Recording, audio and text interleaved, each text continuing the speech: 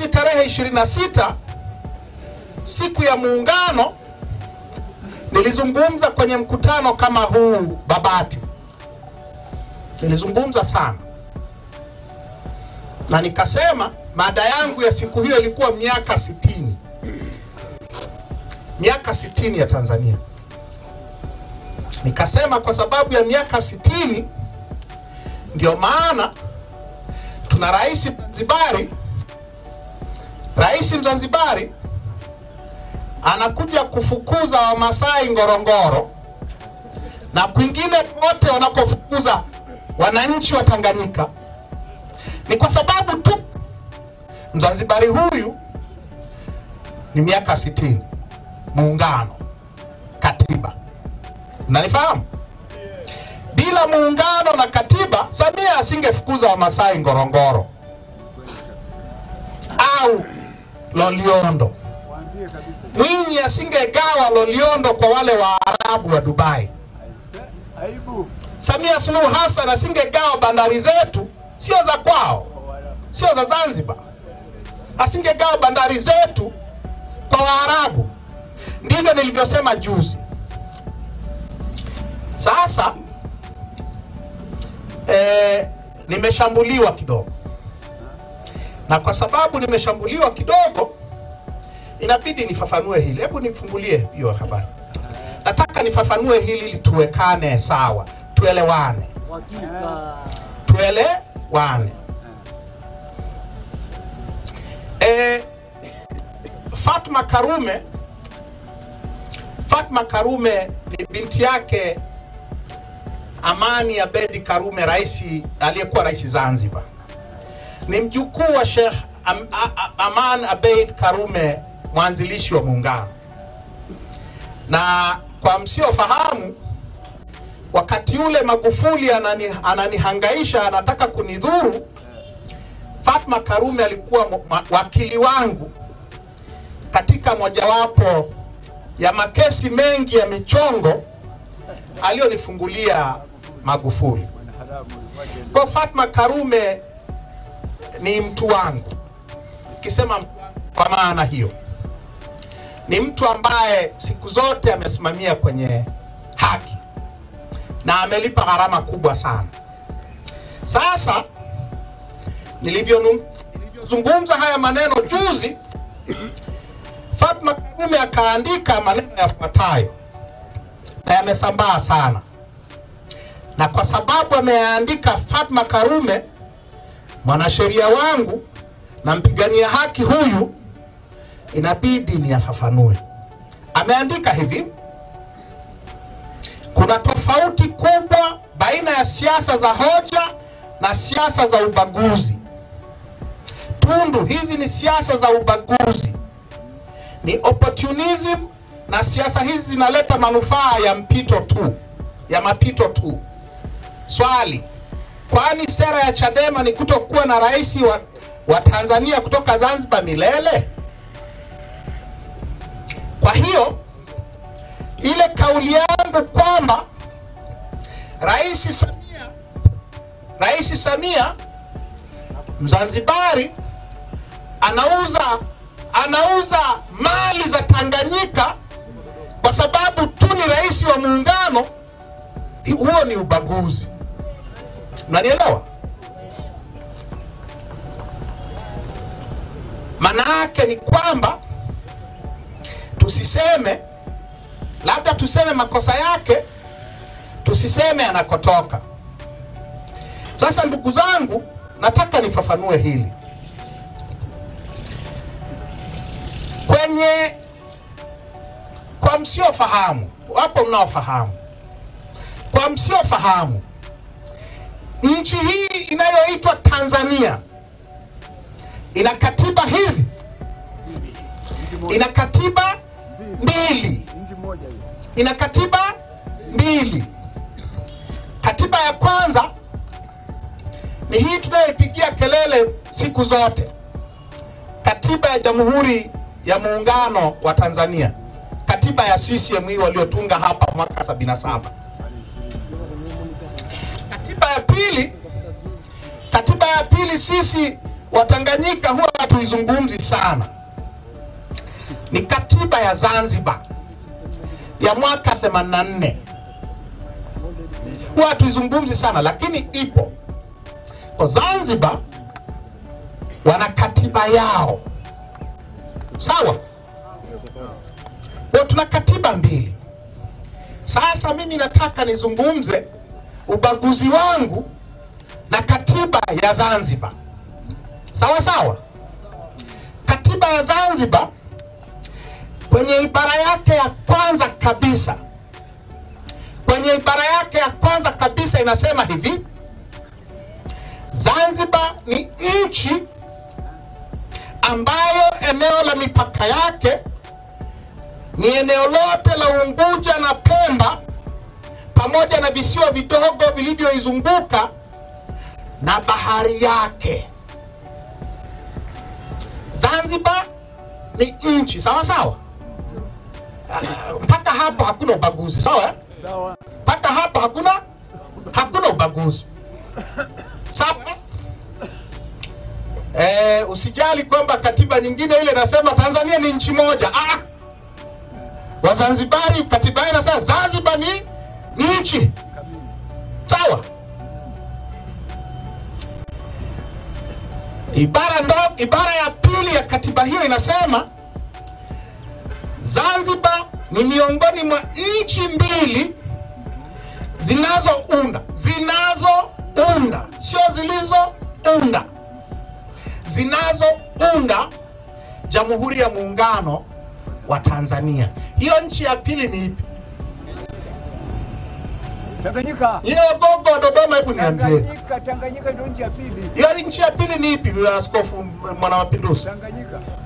Sawa sawa. Eh. Sasa tuendelee. Ibara ya sita, ibara ya sita moja hiyo katiba ya Zanzibar inasema hivi: kutakuwa na Mzanzibari, kutakuwa na Mzanzibari ambaye upatikanaji wake na upoteaji wake utafafanuliwa kwenye katiba ya Zanzibar.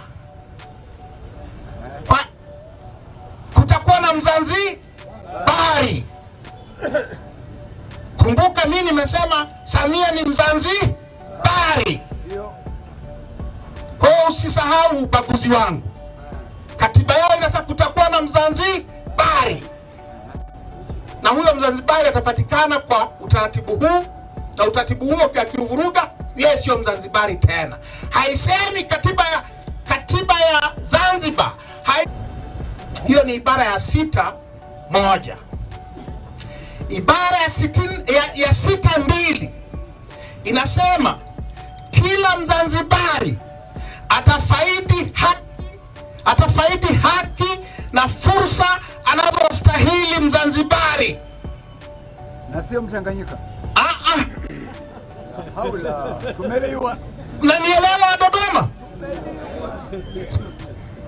Mzanzibari, kila Mzanzibari atafaidi haki na fursa anazostahili Mzanzibari. amini wanakula na mimi nilisema juzi Babati kwamba huyu rais Mzanzibari anauza ardhi za Tanganyika, anafukuza Watanganyika.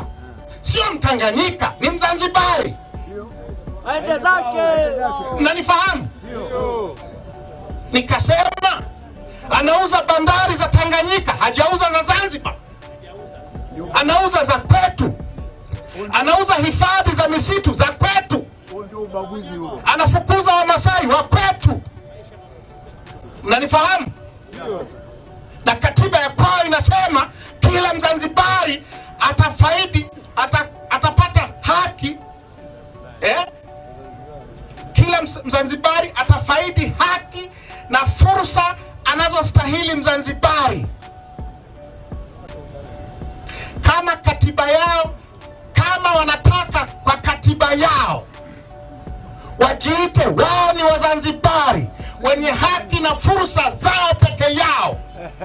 Wanapata shida gani tukisema matendo yao wanapokuja Tanganyika? Inakuwaje ubaguzi tukisema kwamba huyu, huyu Mzanzibari anauza mali za Tanganyika? Inakuwaje ubaguzi?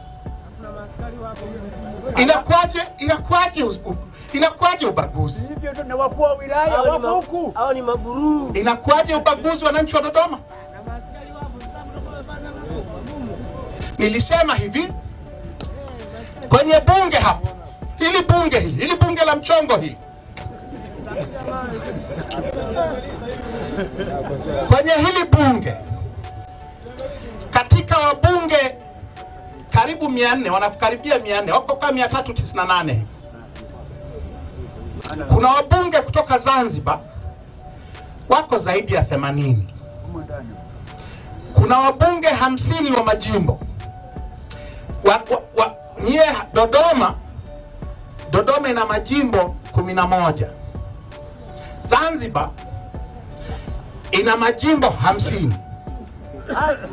Kwa sababu tuko Dodoma na tunazungumzia majimbo, kwa mwaka elfu mbili na ishirini uchaguzi mkuu, nyie Dodoma mlikuwa na wapiga kura milioni moja na laki tatu na ushee kwa mujibu wa Tume ya Taifa ya Uchaguzi, mna majimbo kumi na moja. Zanzibar ilikuwa na wapiga kura laki tano na sitini na sita elfu ilikuwa na sio nusu, ni chini ya nusu ya wapiga kura wa Dodoma. Ina ma, majimbo hamsini. Unanifahamu? Mnanifahamu? Ndio haki na fursa za kuwa Mzanzibari kama hamna akili. Hizo ndio fursa zinazozungumzwa, nanielewa? Sasa sio tu hao hamsini, kuna watano wanaochaguliwa na baraza la wawakilishi, yaani baraza la wawakilishi wao wenyewe ni wawakili, wamechaguliwa, alafu wao wanakaa wanachagua wabunge watano wanakuja kukaa hapa.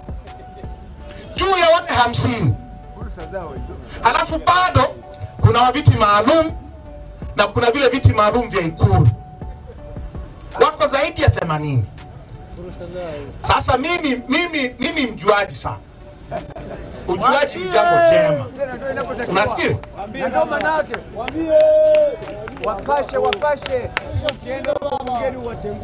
Ujuaji ni kitu kizuri, yaani to, kinyume cha ujuaji ni kwamba wewe hujui, mjinga. Hii sio mjinga, unanifahamu? Ndio. Sasa katika ujuaji wangu nimesoma taarifa za wanaokuja kuangalia chaguzi zetu tangu mwaka 95. Eh. Taarifa zao zote mimi nimezisoma, na katika mambo ambayo wameyapigia kelele tangu uchaguzi wa kwanza wa vyama vingi ni kwamba kuna uwakilishi usiokuwa huru, usiokuwa sawa. Majimbo ya Zanzibar yanayopiga kura elfu saba jimbo la Temeke Dar es Salaam linawapiga kura laki nne sabini na nane elfu kuna watu elfu saba wanachagua mbunge, kuna watu laki nne sabini na nane elfu wanachagua mbunge mmoja. Hiyo sio sawa, Watu wa mtaa mmoja hao. mnanifahamu? Wala sio mtaa, Tena hata mtaa mkubwa. unielewa? Kwa hiyo kwenye muungano huu, kuna upendeleo, inakuwaje ubaguzi? Inakuwaje ubaguzi? Mi nakuwaje mbaguzi? Nyie ma CCM mliotumwa, mi nakuwaje mbaguzi? Anaweza kumiliki ardhi Dodoma hapa, anaweza akanunua shamba hapa au Babati. Niliwaambia wa Babati, wewe wewe wa Dodoma huna haki ya kununua ardhi Zanzibar. Mnanifahamu? Sasa wenzetu kivipi? Ukisema wewe mbaguzi, wewe usiniambie. Nachotaka kusema ndugu zangu ni kwamba lazima lazima kama wewe unajidai ni kiongozi halafu uwezi ukasema ukweli wa aina hii kwa sababu ya kuogopa kuitwa mbaguzi au kuitwa majina mengine mabaya mabaya. Pengine ni sahihi utafute kazi nyingine. Usitafute kazi ya kuongoza watu. Kwa sababu kama unataka kuongoza watu lazima uwe na uwezo wa kuangalia machoni na kuangalia machoni na kuwaambia ukweli wote na sio ukweli nusunusu ufafanuzi wa pili naomba nirudi kwenye mada nirudi kwenye mada na muda unakwenda. una- sasa ndugu zangu dodoma mji mkuu na wananchi wa dodoma mwaka 73 miaka 51 iliyopita mwalimu nyerere na serikali ya tano walitangaza kwamba makao makuu ya nchi yatahamia dodoma miaka 51 iliyopita Asante kwa kuifuatilia Baharia TV. Usisahau kulike, kusubscribe, kucomment na kushare.